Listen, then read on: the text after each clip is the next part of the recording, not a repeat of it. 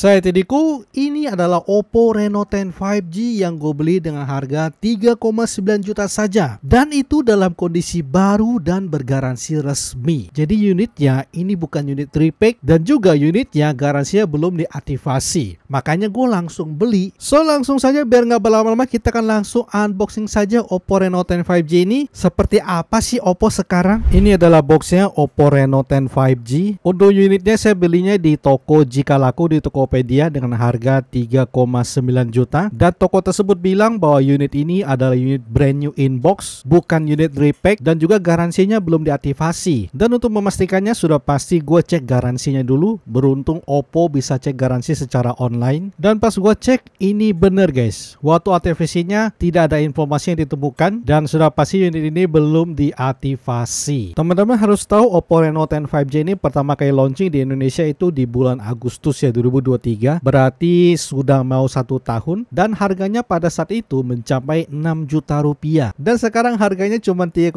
juta sih sudah pasti sangat menarik banget ya karena ini adalah Oppo guys. Dan biar nggak berlama-lama kita akan langsung buka saja kita unboxing Oppo Reno 10 5G ini kita langsung lihat ada apa aja. Di sini ada jarum, buku petunjuk, buku safety, silikon case, dan ini adalah handphonenya. Aduh, sobek dia pakai kertas guys ya. Kita keluarin dulu. Kita di sini ada apa saja? Ada charger Superfook yang kecepatannya bisa mencapai 67 watt. Jadi untuk isi boxnya seperti ini. Sekarang kita lihat handphonenya ya, Oppo Reno 10 5G ini. Oh, bisa teman-teman ini kinclong banget dan dia layarnya melengkung ya. Dan ini untuk penampakan backdoornya warna birunya ada gradasi-gradasi begitu ya. Dan untuk bump kameranya ini wah ciri khas Oppo banget. Dipikir-pikir kayak kartu domino guys ya.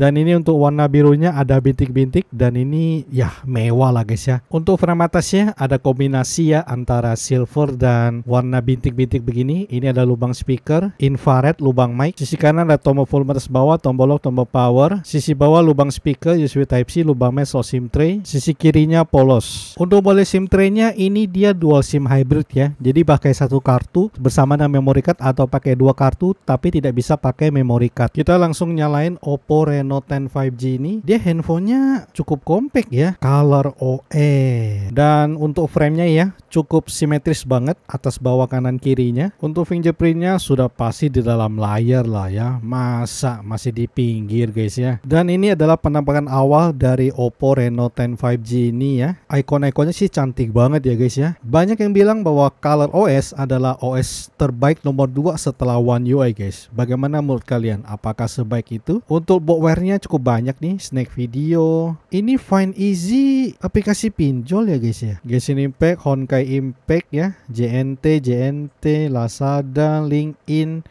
Netflix, Snack Video, Spotify, Tomorrow Coffee. Kita langsung ke setting. By kita belum pernah bahas Oppo ya, jadi kita lihat agak lama ya. Ini untuk wallpaper and stylenya, dia tampilannya seperti ini guys. Untuk always on displaynya ini kita coba lihat, dia bisa all day ya untuk always on displaynya. Jadi ini keren banget dan juga bisa kontrol untuk musik playback ya. Untuk icon-iconnya juga bisa diganti. Ini untuk colornya, fingerprint animation, edge light setting. Lalu ini tampilan home dan lock screennya oh harusnya gue setnya begini sih. Standar mode jadi semua nampil ke dalam layar. Nah begini harusnya ya. Jadi semua sudah di dalam layar. Untuk displaynya sih enak dilihat guys ya. Untuk refresh rate bisa mencapai 120 Hz untuk soundnya dia pakai real sound teknologi. Haptiknya udah yang empuk banget guys ya. Dia haptiknya yang sudah halus. Lalu untuk special fitur ya. Jadi ada split screen flexible window quick return quick launch. Additional settingnya ada assistive ball, gesture, screenshot, screen recording cuman sampai 16 Mbps. Frame rate-nya bisa oh dynamic paling. Bisa sistem sama microphone sound. Lalu terakhir about device. Begitu nyala dia di ColorOS 13 City 1 storage yang kepake udah 24,2 GB ya. Free-nya masih masih di kisaran 200 GB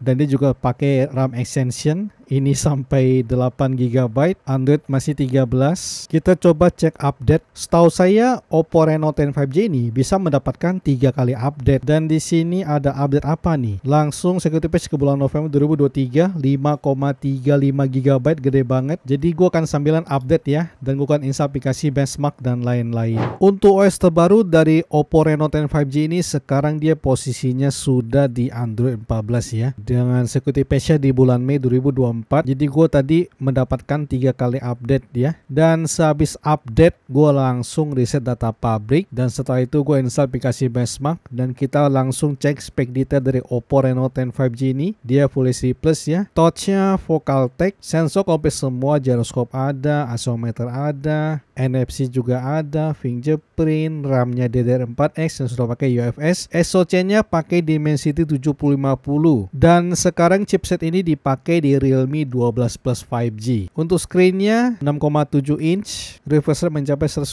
Hz dan sudah HDR10 HG HDR10 Plus memori 8256 untuk sensor kameranya wah di sini kedeteknya banyak banget ya. Untuk sensor kamera utama 64 megapiksel pakai OmniVision. Untuk kamera telefoto pakai Sony IMX X709 ultra wide-nya 8 megapiksel dari OmniVision. Dan untuk sensor kamera depan pakai Sony IMX615 untuk baterainya 5000 mAh. Untuk skor tentunya saya sudah tes skornya di 587.000 ini udah angka yang udah lumayan sebuah handphone di rank harga 3 jutaan ya. Dan ini keterangan untuk CPU, GPU, MEM dan UX nya untuk storage-nya dia pakai OS Pala 2 ya. Untuk multi touch-nya sudah pasti bisa sampai 10 jari. Untuk touch sampling rate-nya kalau dimasukin ke dalam gaming mode ya dia bisa naik ke 240 Hz tapi kalau teman-teman tidak masukin ke gaming mode itu cuma jalan di 120 Hz untuk Geekbase 6 single core di 1081 multicore di 2500an GPU Vulkan di 2500an GPU OpenCL juga sama di 2500an untuk 3D Mark Processor ini skore di 2300an dan stability-nya cukup bagus ya di 99,6% untuk suhu juga nggak panas-panas banget dari 31 ke 37 buat teman-teman yang suka nonton Netflix dia sudah WiFi L1 yang tandanya bisa streaming di Full HD cuma untuk HDR nya belum ada. Buat nonton YouTube dia sudah support HDR untuk kualitas displaynya ini bagus tidak ada keluhan sama sekali. Warna yang dihasilkan juga bagus banget dan juga halus banget. Paling kalau kita bandingkan dengan handphone keluaran baru yang sekarang-sekarang paling kalah di terangnya aja. Ini kita bicara nonton video HDR ya. Untuk speakernya sudah stereo ya. Atas bunyi juga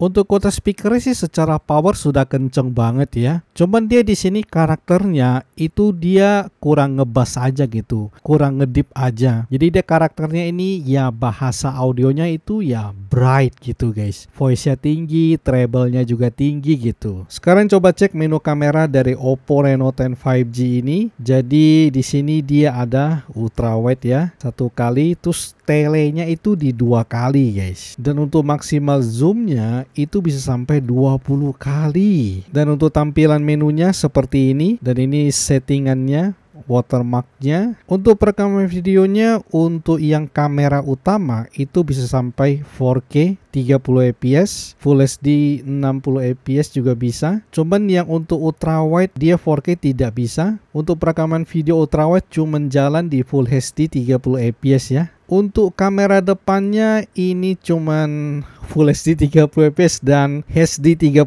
fps guys. Untuk naik bot ya jalan di semua kamera ultra wide, utama, tele, kamera depan juga jalan. Lalu ada portrait mode satu kali dan dua kali. Kamera depan juga bisa portrait mode dan untuk more-nya ini ada Pro, Extra HD, Panorama, Slow Mo, Dual View Video ya. Ini lumayan nih Dual View Video. Kesimpulan pertama saya terhadap Oppo Reno 10 5G ini ini sudah pasti positif banget ya. Dia datang dengan desain yang mewah dan cantik. Udah gitu multimedia juga bagus ya dari speaker maupun display dan juga performa yang menurut gua nggak lemot-lemot banget lah untuk sebuah handphone di harga 3 jutaan dan sudah pasti kameranya berani diadu dengan handphone 4 jutaan keluaran tahun ini. Cuman yang bikin gue evil terhadap Oppo Reno 10 5G ini adalah kualitas kamera depannya itu wah. Dan sudah pasti nanti gue akan coba tes gaming yang Oppo Reno 10 5G ini apakah handphone ini bisa diajak gaming dan juga gue mau coba jadiin sebagai day diver karena gue penasaran dengan color OS-nya. Way, segini saja ya untuk unboxing Oppo Reno 10 5G di tahun 2024 ini dan terima kasih buat teman-teman yang sudah nonton video ini. Like kalau kalian suka video ini, share jika video ini bermanfaat. Kita ketemu lagi di video selanjutnya. Salam overprice.